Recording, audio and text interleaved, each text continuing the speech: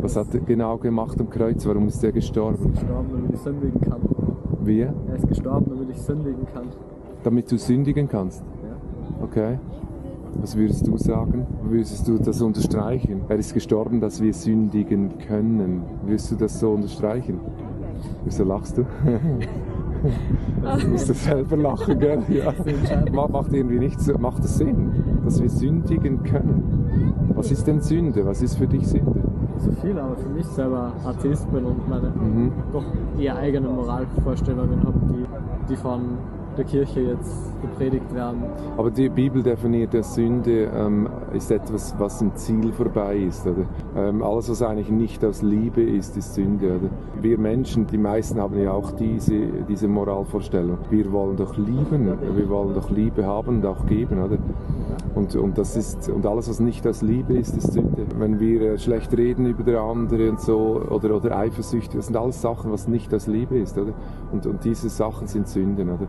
Und Jesus ist gestorben für diese Sachen, damit wir diese Dinge nicht mehr tun? Nicht mehr, dass wir können, sondern dass wir diese Sünde nicht, mehr tun müssen. Genau für das ist er gestorben, dass wir frei werden von dem. Wenn, wenn wir Jesus nachher aufnehmen, haben wir wie eine, eine neue Natur dann, wo nicht mehr sündigen will oder nicht mehr kann. Du kannst immer noch im Alten leben, aber du kannst dich täglich entscheiden, ich möchte im neuen Menschen leben. Jesus macht aus dir einen neuen Menschen, von innen heraus im Geist. Oder? Wie ein neues Programm. Oder? Ja. Würdest du sagen, dass die Leute weniger Drang haben, sich der Sünde hinzugeben? dadurch, Mhm. Man kann immer noch, wenn man Jesus aufnimmt, kann man immer noch entscheiden, im alten Menschen zu leben. Obwohl für Gott ist das erledigt dann. Für Gott zählt nur noch, was du im neuen Menschen bist. Wenn du Jesus einmal aufnimmst, bist du vollkommen. Im Geist bist du äh, völlig neu wiederhergestellt. Ein Sohn oder eine Tochter Gottes. Oder?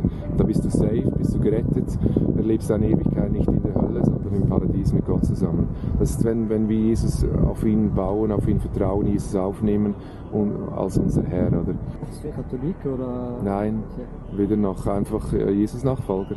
Ja, Okay. genau. Ja, Ja. werde jetzt nicht Mhm. auf ja, ja. Skandale aus der katholischen Kirche. Nein, nein, nein, das ist, weißt, weißt du, Katholizismus kann man sagen, ist ein System von Satan. Oder? Aber obwohl es ganz viele Leute hat, die, die suchen Gott in der katholischen Kirche, die, die meinen es wirklich ernst, aber sind die, die meisten, ja, aber, aber das. System, das System ist nicht von Gott, oder? Ja, okay. Und ich gebe dir das mal mit, dann kannst du in aller Ruhe schauen mal. Ja. Ist das gut für euch so? Mhm. Passt schon. Darf ich eine Gegenfrage nur kurz Mhm. stellen? Ja, sicher, Weil du ja. vorher gesagt hast, Sünde ist alles, was nicht aus Liebe passiert. Ja, genau. Ja.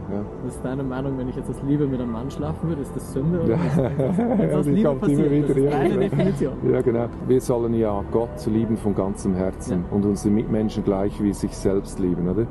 Und, und Gott, wenn wir Gott lieben, dann fragen wir doch ihn, was, was möchtest du?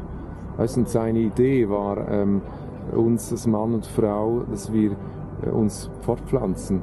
Und wenn jetzt jeder, ähm, wenn für dich das gut wäre, richtig wäre, Homosexualität, dann müsste es für alle Menschen richtig sein.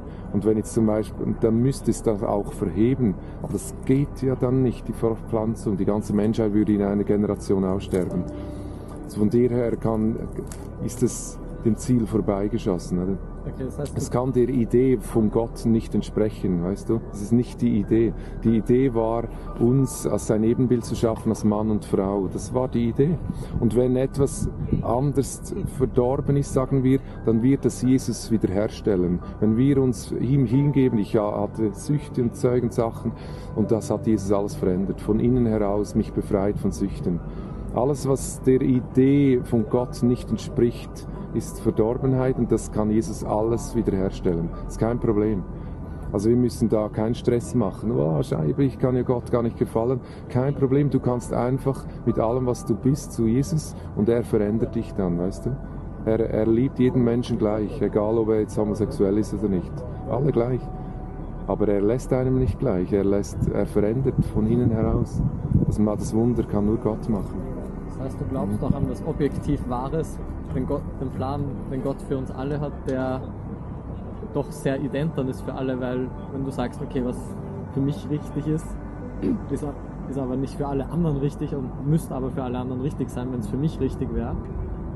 Also hat Gott schon einen objektiven Plan für alle Menschen und es gibt ein objektives. Ja, er, er hat die zehn Geboten gegeben. Das ist objektiv, das ist für alle gleich. Das ist der Maßstab, wo Gott uns gibt. Wir können nicht jeder seinen eigenen Maßstab haben. Das kann nicht funktionieren, die Sozialität. Wenn jeder seinen eigenen Maßstab hat, dann funktioniert die, Sozial die Gesellschaft nicht. Dann muss es einen Gott geben, der den Maßstab gibt und wir richten uns nach dem. Und dann, und dann hätten wir den Himmel auf Erden. Wenn alle die zehn Gebote halten würden, dann hätten wir den Himmel auf Erden. Und ähm, ja, Genau. Er hat es aber nicht gegeben, das, um uns zu sagen, so kannst du gerettet werden, weil das schafft kein Mensch, die zehn Gebote zu halten. Er hat es nur hingegeben, um uns zu zeigen, wie krass, dass wir gefallen sind, oder? Dass wir merken, wir brauchen Rettung. Und danach kam Jesus und hat, hat die Rettung geschaffen, um uns wieder zu upzugraden. Dass wir wieder vollständig, wieder, wieder ähm, vollkommen sind. Ja. Macht es Sinn? So. Ja. Ja, mega cool. Verstehe worauf du Ja, okay. Ja. Danke vielmals gell, für Mitmachen und schönen Tag noch. Danke, Tschüss, ciao.